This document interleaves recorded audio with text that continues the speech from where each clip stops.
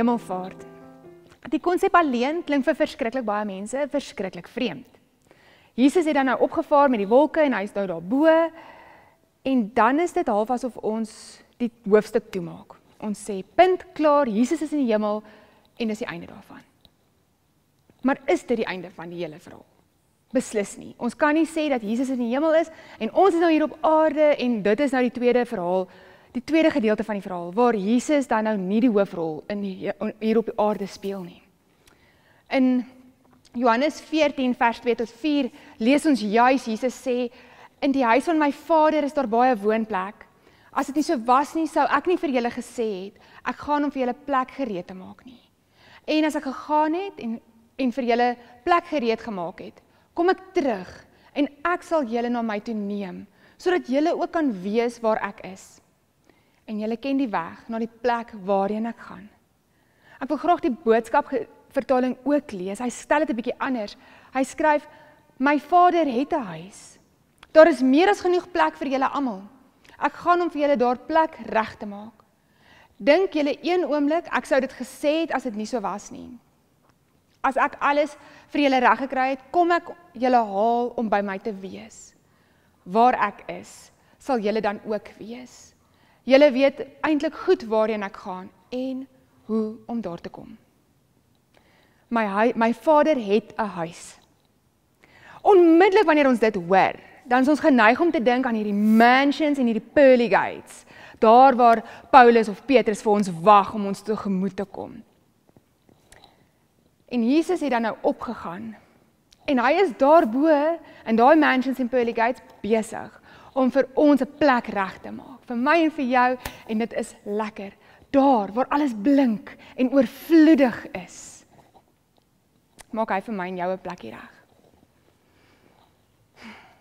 So omdat Jesus dan nou daai plekkie reggemaak het, beteken dit ek en jy kan hier op aarde aangaan soos wat ons aangaan en met 'n huppel in ons stap want ons weet ons is reguit op pad hemel toe. Maar die vraag wat ek vandag wil vra is wat op aarde beteken dit. Eerstens moet ons verstaan dat die idee van wat Johannes het wanneer hy praat oor hemel en aarde lyk heeltemal anders as wat ek en jy vandag oor die hemel en die aarde praat. Hy het 'n 'n driedelige, 'n driedimensionele idee van hemel en aarde. So eerstens is die hemelkoepel. Die hemelkoepel is daar ver bo in daai blou gedeelte wat ons so mooi sien in die sterre in die nag. Dis daai gedeelte.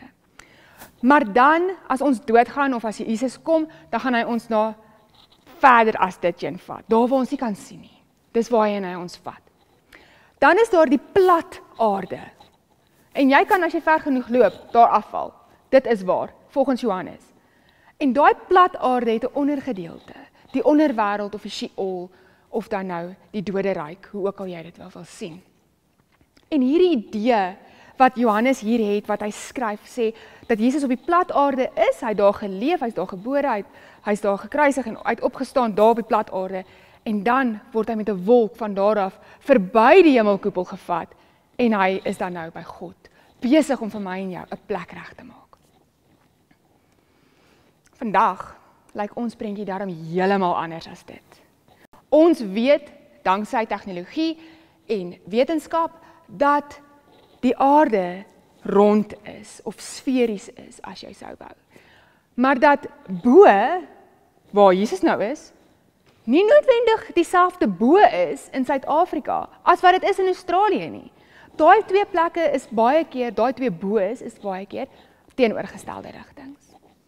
Maar vir Johannes is hierdie idee van bo en onder baie baie belangrik. Jesus gaan juis boontoe om vir ons 'n plek reg te maak lees ons in die teks. Maar daar gebeur soveel agter die skerms. Jesus moet opvaar na die hemel toe sodat die verlossing wat hy vir ons gebring het deur sy dood en opstanding voltooi kan word. Gelukkig vir ons weet Jesus dat wanneer mense te lank genoeg aan hulle eie genade oorgelaat word, hulle heeltemal van hulle kop afraak. Of miskien hy sien hy dit juis in sy disippels se oë wanneer hy dit vir hulle sê.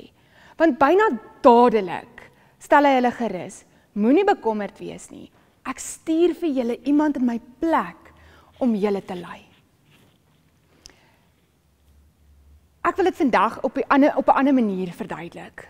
'n Manier wat vir ons kinders dalk bietjie meer sin gaan maak en dalk ons groot mense ook kan kry om net ons koppe om hierdie idee te kry van Jesus se hemelvaart. En ek wil dit verduidelik aan die hand van die konsep van kondensasie.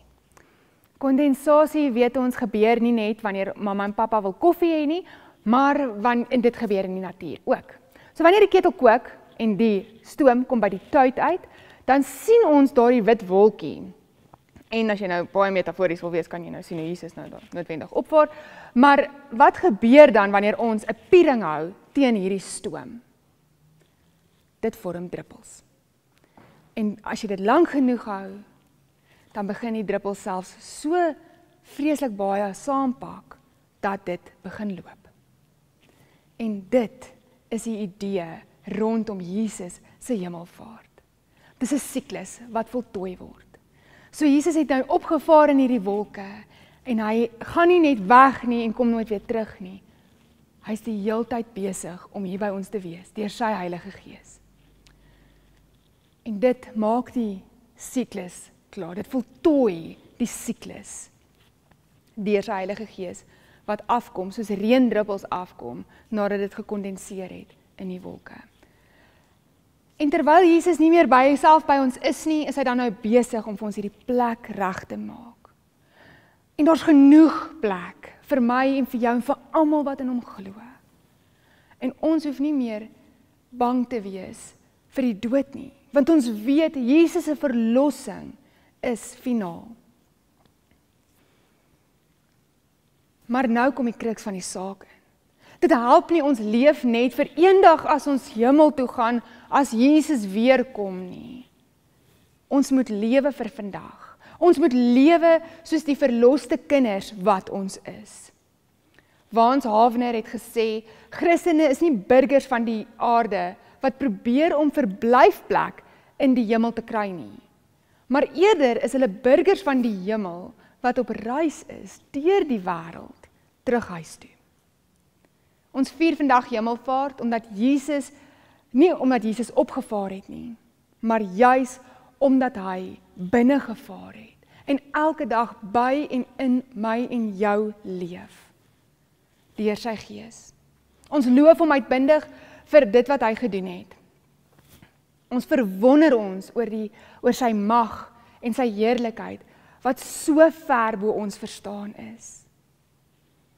En dit is nou my en jou werk om almal daar buite te gaan wys hoe dit lyk om inwoners van die hemel te wees. Amen.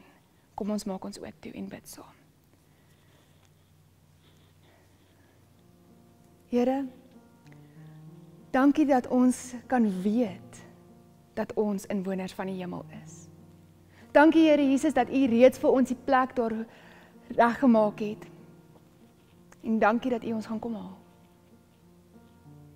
Maar meer as dit, Here, is ons so opgewonde om te weet dat die die Heilige Gees hier by ons is. Elke dag saam met ons leef. Here help ons om hierdie wete, hierdie hemellinge wete te gaan uitleef in die wêreld. In Jesus se naam bid ons dit. Amen.